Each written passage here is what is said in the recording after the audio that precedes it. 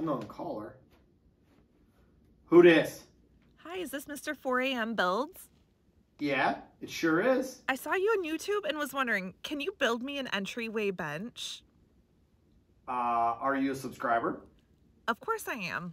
Oh, I'm on the way.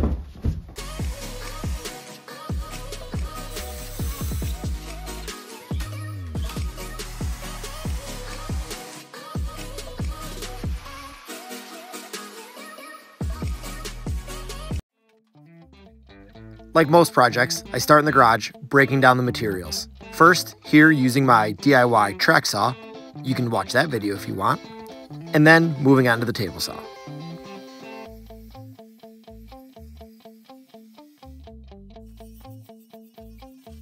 I'm working on the bench top here. Since this will be painted, I use 120 grit, then move to 180.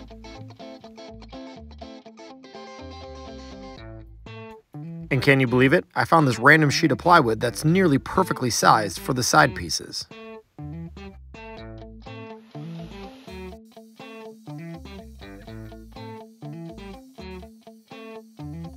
I'm ripping this piece down for the front, and then here I am just batch cutting these 2x4s that will be used for the inner supports.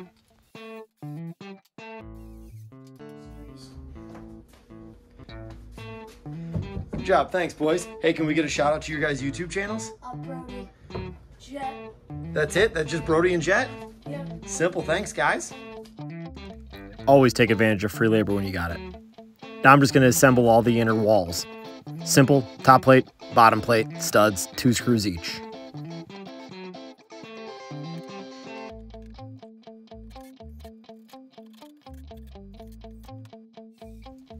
Here I am chopping down the one by material that will be used on the front of the bench.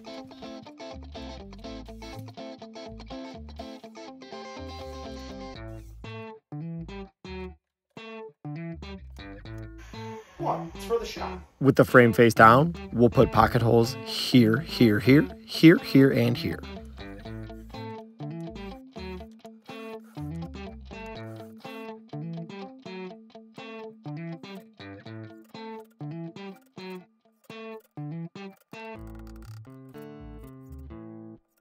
So you can see here, I got the face frame together. I got a one by six on the bottom. I have a one by three on the top.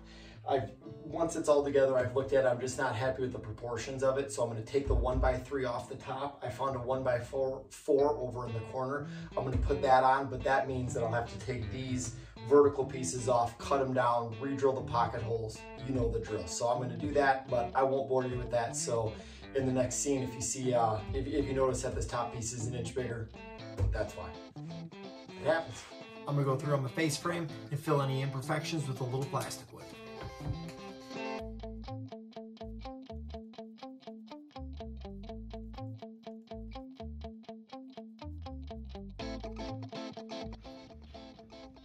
Times when I need to keep a piece up vertically like this and I can't put a clamp on top of it because I need to put edge banding on, I'll just use one of these hand screw clamps and it holds it pretty steady.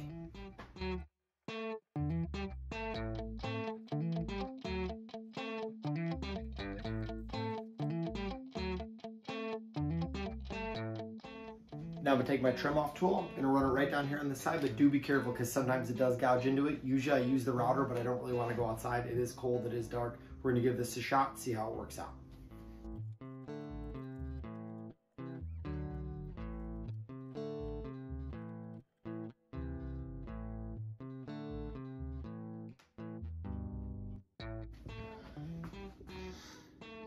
See exactly here what I'm talking about, how it, it'll bite on the grain of the wood and it'll kind of run it in.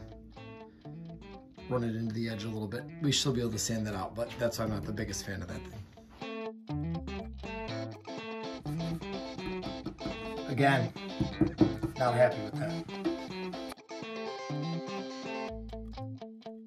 Now what I like to do is take a little sanding block. I'm just gonna knock all down, knock down all these edges. Here there's a little bit, here there's a little bit. See if we can make it so this side will be exposed. So I did put a little bit of the plastic wood on the end grain to see if it can soak up the paint and we can make that look as, as natural as possible there so you won't notice it from the side when you walk in the door. Time for some primer. So I'm really not a fan of painting and it's extremely boring to watch. So I got an idea.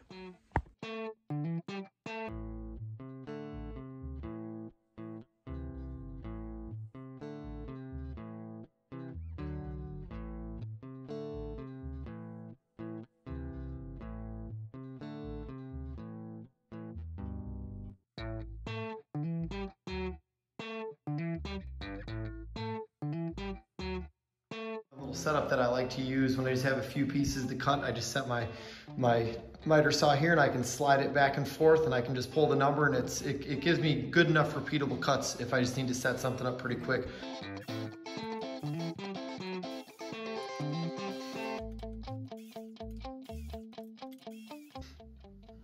I push my pieces down and over gives me an eighth inch gap here. So that means when I center them, it'll be a 16th on each side. So that's all I have to do is pull the number here, subtract an eighth, and that'll be the vertical pieces that I need.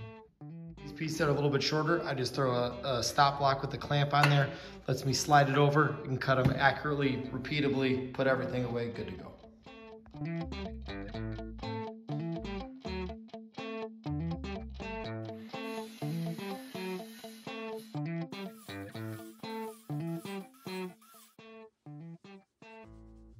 We got an issue. So if you're gonna use the line on your tape measure, make sure you use the right one. Let me show you. But hey, we can fix it. I'll be right back.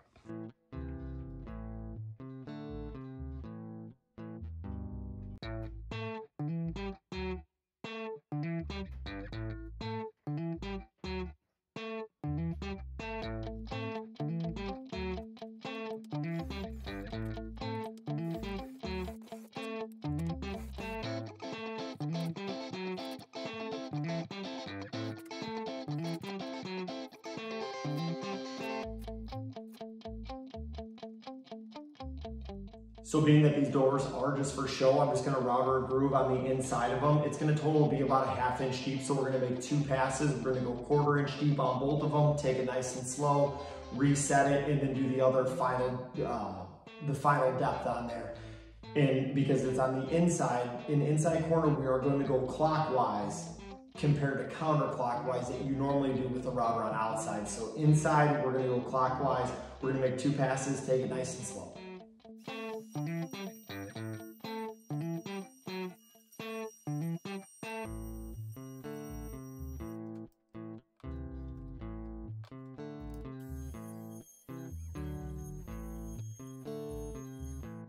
So we got a little issue. We had a little burnage going here on the inside. I saw it when I was routering, but I didn't know what was happening, so I just kept sending it. But what happened was I didn't put this bearing on this bit the proper way. So I did go through and sand this one. It's all good. It's gonna get painted anyway. Um, it should be fine, but yeah, just make sure you put the bearing on the right way.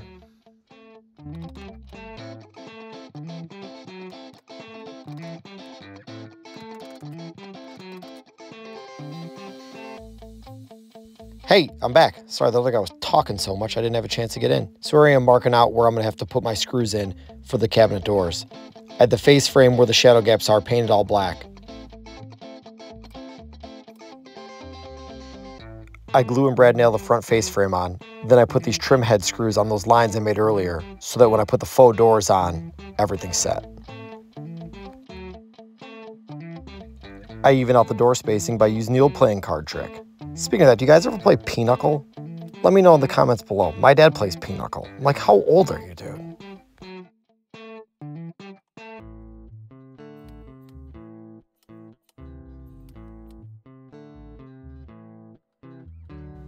I'm not sure if the homeowner knew I was recording this install and I was a little too embarrassed to ask. So if you notice the camera angles are kind of low and I don't do any talking, that's why. I throw a heavy coat of PL Premium on everything. That should hold it, but then I throw a few nails in just in case.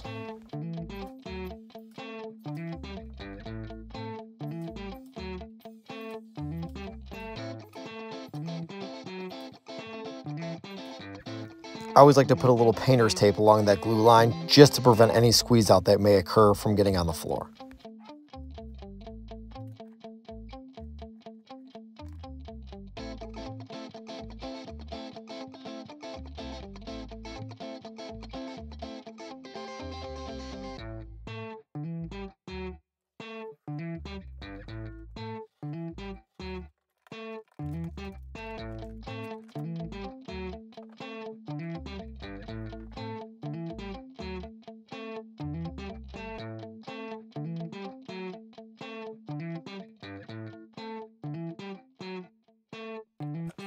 Here my screws are only going to stick through about an inch so that it just goes through the hardwood and into the subfloor and doesn't hit anything below.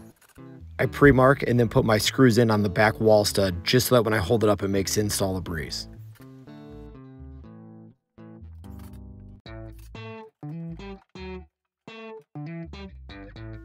For the top, we'll just use some more PL Premium. Then we're gonna sit on it and throw some nails into it.